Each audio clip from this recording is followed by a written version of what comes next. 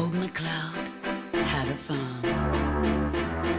And on that farm, he had a swan. It's wild in the country. McLeod's Daughters returns Wednesday, September 20 to 9.